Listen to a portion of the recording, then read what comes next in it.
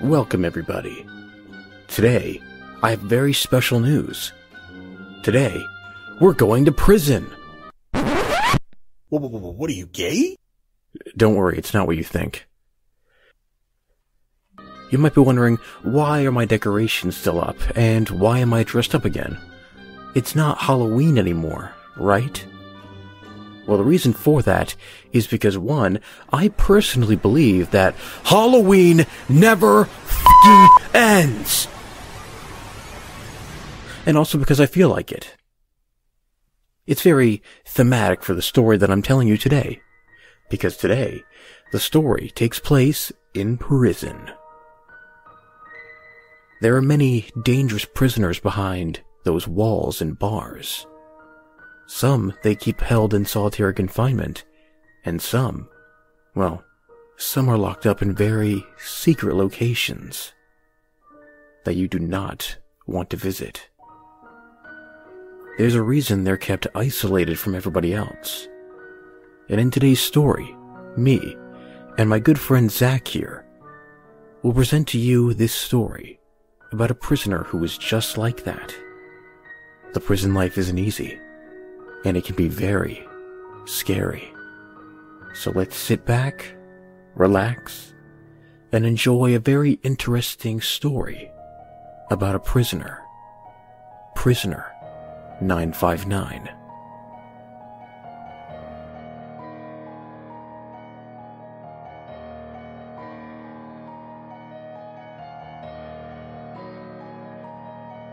Enjoy.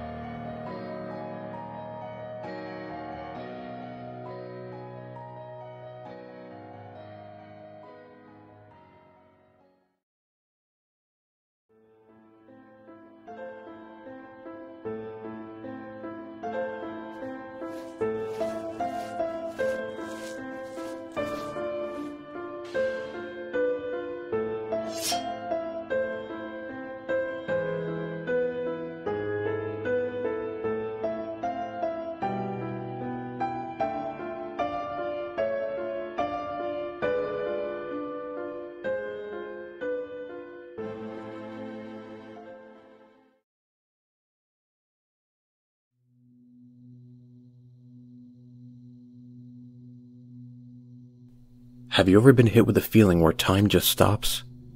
Will this making the most difficult decision of your life? I have. It was the most pressuring, stressful, and scariest decision I ever made. But I somehow managed the right choice. It was a very narrow escape. First things first. I'm a prisoner security officer working at a very dark but highly facilitated prison in Detroit. I'd have to say half of hell's spawn dwells here. The worst criminals you could ever imagine all decided to converge into one place.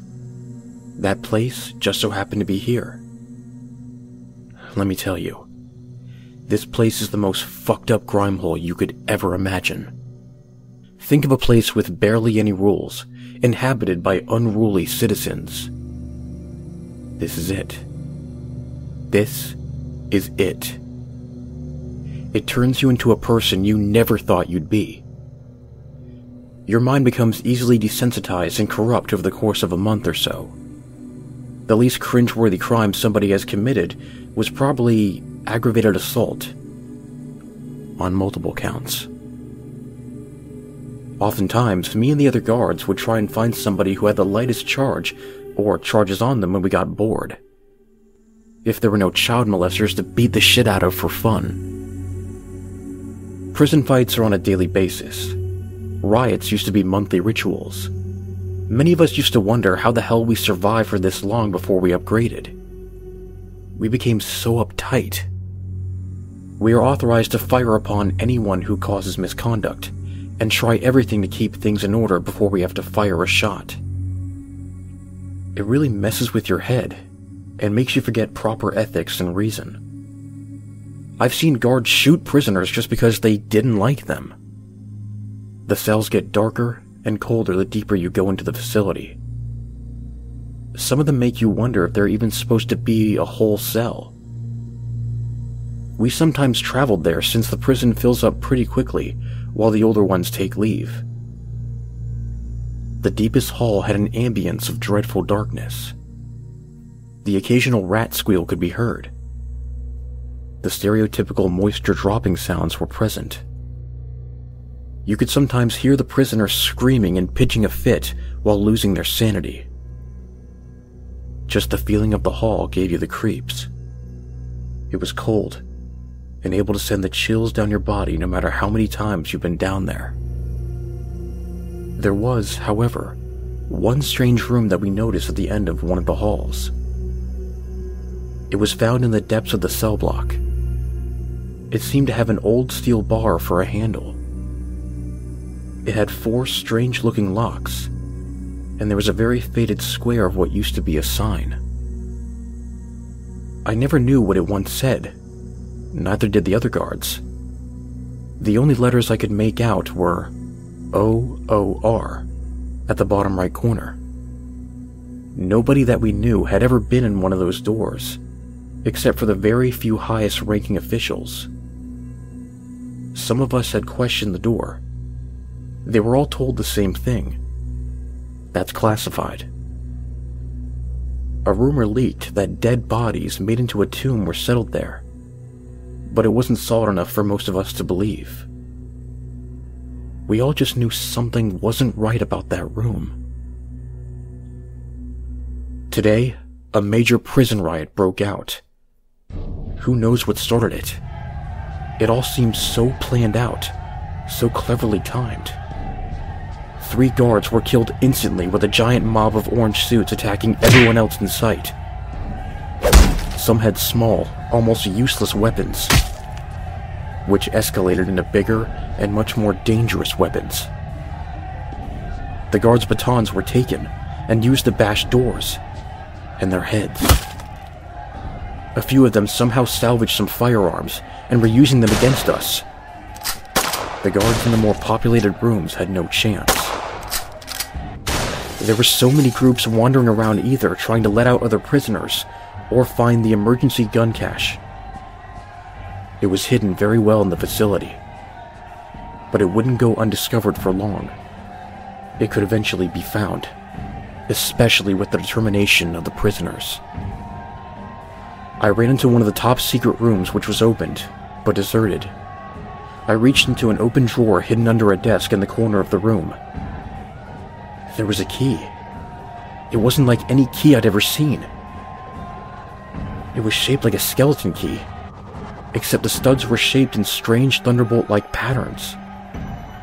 There was a note next to it that said, Warning Authorized use for this key, or lethal force will be used. I somehow instantly knew what it was for. So I ran towards the depths of the jail while dodging incoming prisoner blows. I managed to throw a deadly nose break into one of them and slammed another. I don't remember how I got there. I must have blacked out from the fighting. As I stood at the end of the long hole cell hall, I felt a strange, suspenseful dread course through my entire body. The closer I neared the door titled OOR, the more nervous I felt. I quivered, probably from the coldness of the cell and the slight fear that was bothering me. The dripping of moisture must have been the loudest sound I had ever heard at that time. I felt lightheaded, wondering what I was about to experience. However, I didn't have much time. Whether I was going to hide in the room or bunker in for safety, I needed to get in. So I placed the key into the locks. It required effort to awkwardly twist the key. Each one had a loud breaking sound when they were unlocked. I paused. I felt very uncomfortable. I knew it had to be done. I grabbed the metal handle and pulled. It didn't budge. It required a lot more effort to be opened. It scraped against the ground and slowly creaked its way open. Steel grinding against the top floor. It produced an eerie echoing creaking sound. I went inside and closed the door until there was only a crack. It was dark. pitch dark. Even though I could barely see the crack from the door, all I saw was black. The room seemed to be spacey enough to spread out your arms without touching the walls. I felt for a switch, lever, something. Anything to produce even just a little light. I felt a string that seemed to be attached to something above me. I pulled on it. An old fashioned metal hanging light shone from above. There, in front of me, was a steel cylinder. It was not only locked with a safe wheel and four other strange looking locks, but it was bolted shut, like it was never meant to be opened. Then, the answer to all my curiosity to what was in this room came upon me when I saw a metal peephole. It was locked close. It was placed about three feet above my head. I am six one. The cylinder towered over me. My height only reached half of that cylinder. I found a key lying out on a steel drawer nearby that I didn't notice due to the dark display I had been fantasizing about for the longest time. I placed the key into the peephole lock to see if it would work. To my surprise, it fit perfectly. I took off the lock and took a deep breath. This is it.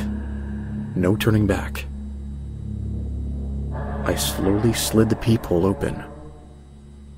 I felt like I couldn't move any part of my body besides my hand. Immediately, I saw two dim, scarred eyelids inside. Both eyes were not only scarred, but had a clear, previously cut gash down the middle. I froze for a second, but then after a bit, I said, Hello? Their eyes opened swiftly without warning. Their eyes were unlike anything I had ever seen. One was discolored and white as if it were a blind eye. The other was red, blood red. He responded with a very deep voice that came from his belly. Yes? Said a very deep, booming, raspy voice, full of despair and hate. The air filled with the sound of his speech. Hello? I stuttered. I was too scared to even move. Not only were the eyes scarring to look at, but the feeling of dread was upon me. You awake me. For what reason? He sounded quite angry. I, uh, I honestly don't know. The prisoners, they all just revolted. They overpowered us, and this is the only place that I could go. The inevitable deaths have come upon you. You only have one choice. The power and creepy feeling of his voice was enough to make you tremble in fear. No amounts of steel could protect you from this type of fear. Who are you? 959. Was all he said. Why do they keep you locked up in this chamber? If I must ask. Behind you. At this point, I was shocked and scared shitless. I was certain that there was actually someone behind me ready to kill me with their bare hands. I turned, and there was a metal cabinet nearby. I walked over to it, noticing that my feet were shaking, and opened it. Inside were many files. Open, said prisoner 959. The bellow of his voice startled me. I opened one file named Crime Scene Photos instantly. I was disgusted and grew sick to my stomach. One of the pages read 12 victims in squatter home cellar. Next to it was a picture of bodies impaled through the mouth and out the coccyx. They were upside down, stripped, bloodied, and bearing almost no layers of skin. Their mouths were stretched wide open and their jaws unhinged so that the poles which impaled them could fit. Some of them had absolutely no teeth, but bloody gums squeezing on the poles. Their eyes were rolled back into their head, and some of them were facing directly at the camera. The bloodshot whites of their eyes displayed the pain and agony that they must have gone through. Behind them, there was a message written in blood on the cellar concrete wall reading, Penance. I had never seen such a revolting picture in my life. You did all this? I trembled. They deserved it, quietly replied the prisoner. I looked deeper, and it showed a picture of a cell from the prison. There was so much gore in the cells. I remember overhearing about this incident from the prisoners, but didn't know if it was actually true. There lay two of what seemed to be dead inmates on the ground, and one was nailed to the wall with a long metal piece from the bed. They were so terribly mangled that they couldn't have been recognized as human. Oh my god. This actually happened? It's true? Yes. I looked at the other files, attempting to look for information on this sick fuck. I read that his real name was unknown, but his famous alias seemed to be Carn. His guess age was 30. He was a massive, hulking 7.1 feet tall, weighing at 304 pounds. I couldn't believe it. Taking on someone of his magnitude was impossible without enough firepower. His early life is completely unknown. He has 103 confirmed murders, although he potentially has claimed 170. Skipping along his biography, he apparently has killed many known criminals. He had killed two cops. He was caught in the act of filleting a fully conscious man alive after people heard the overwhelming screams from nearby. And it took six tasers to take him down. He survived two shotgun shells to the side and the stomach. All the victims and crimes were kept confidential to keep the public from fearing the streets. Now I can see why this man, or thing, is kept in a secret room with a very secure chamber. Why? Why did you do this? I yelled in disbelief. They deserve to die. They deserve to suffer. They deserved to rot. Why did they deserve to die?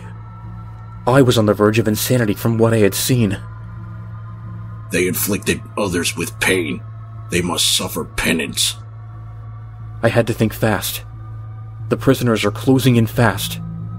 There's no chance of hiding back here for long. There are still rotting prisoners here. My gun won't protect me against all of them. My hand to hand skills are good, but I can't go on forever. I have myself cornered. Here and there, I can faintly hear gunshot fire outside. The last possible choice I could have is to release the prisoner. I could only hope he killed only those who deserved it, though not in the methods that he did it. If he would help me, it could be my only chance of getting out alive. If I help you out of there, will you help me? No. I will help the ones who can be victimized by these heaps of meat. Does that include me? I was praying at this point for a miracle. Yes. I quickly grabbed the strange looking tool from the cabinet. It seemed like it would take out the bolts from the door. I took out the bolts. They clanged on the floor. I then carefully unlocked the locks, one by one. Very slowly, but carefully. Hearing nothing but the sound of the key jiggling the pins. Then came the final step the safe wheel. It looked very threatening and uninviting, but I had no choice. I turned it multiple times, using all my might, thinking it would never open. Suddenly, a very loud, piercing clang noise echoed throughout the room. It scared me and made me fall back. And I watched as the door slowly opened, producing a loud creaking. Inside, there the prisoner stood.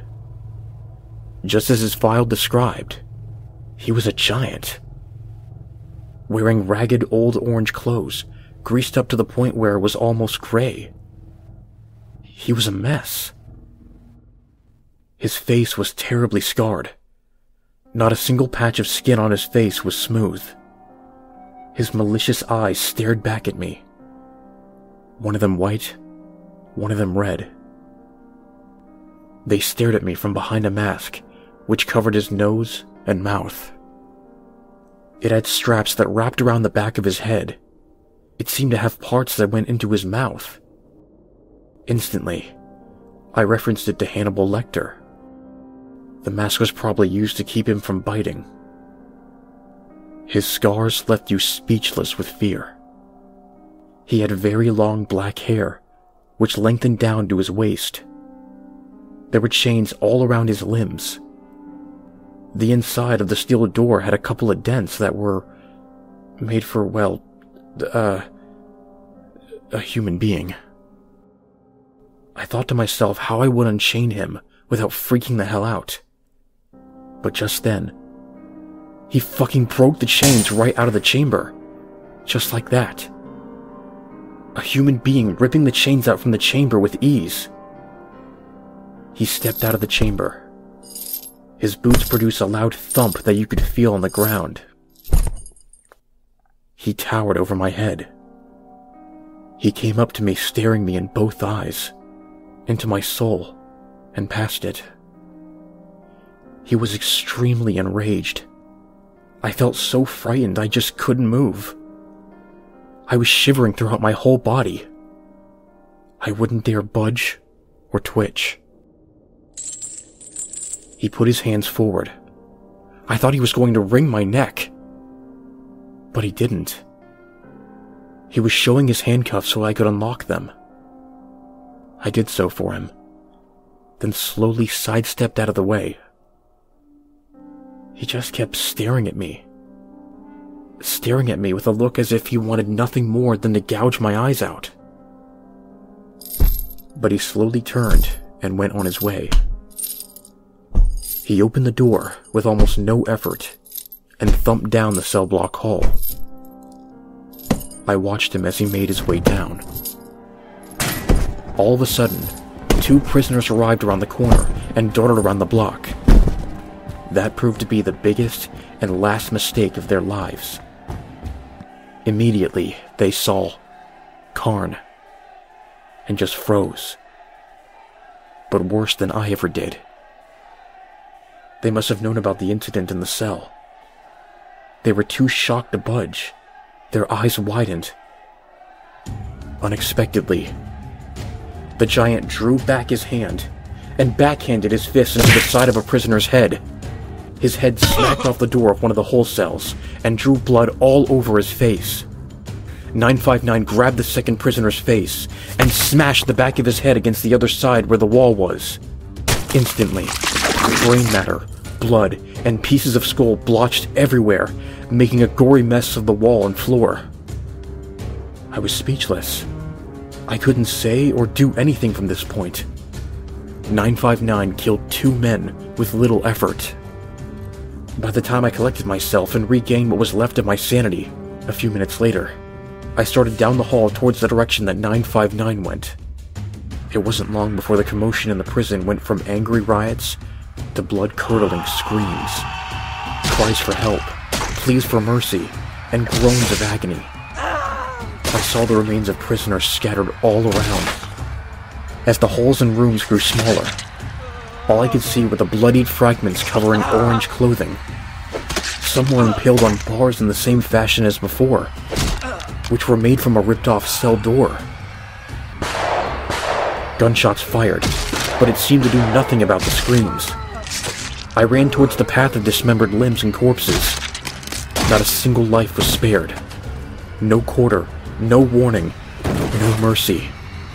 Every prisoner was grotesquely murdered in cold blood. One of them was hung up over a railing by an orange pair of pants. The only other bodies that weren't mangled as badly as the orange suits were the guards. Most of their corpses were intact. The ones that were still alive were scared shitless. Maybe they were saved. When I caught up to 959, I could see him stomp on a prisoner's head, squishing it like a grape. He was pulling a prisoner off a guard by his neck. He picked him up, slammed him against the wall, and squeezed until his neck made a loud cracking sound. He was killed instantly. Another inmate attempted to rush at 959 with the butt of a shotgun. He oh. rammed it into his back, but it barely even budged him. In response, prisoner 959 turned around and grabbed the gun. The inmate tried to punch him in the face, but he blocked it with his right hand, grabbing it and struck the elbow with his left hand, dislocating it. The inmate screamed in pain. 959 then proceeded to bludgeon him to a shattered, boneless pulp with the shotgun until it broke apart. He then shoved the barrel into the inmate's abdomen. A hiding prisoner attempted to grab me from behind. I turned, elbowing him in the face twice, and bent over to grab his right leg. I rolled forward and pulled back as hard as I could, dislocating his limb. There was no chance of him getting up. However, Carn didn't think the same thing. He grabbed the prisoner's intact left leg, straightening it, and crunched it into his body. The prisoner screamed in pain and agony from the shock. 959 walked on like it never happened. Me and the other guards were able to get as situated as we could once the SWAT team had arrived. However, once they made it, 959 was long gone. Prisoner 959 has never been heard of since. He had disappeared without a trace. He left no signs of leave after the bloodbath of the jail. Investigators and authorities have searched up and down the city, inside and out. Eyes were kept open for more gruesome reports. They have found nothing. I can honestly see why they have sought him tirelessly. He could be anywhere, doing anything to anybody.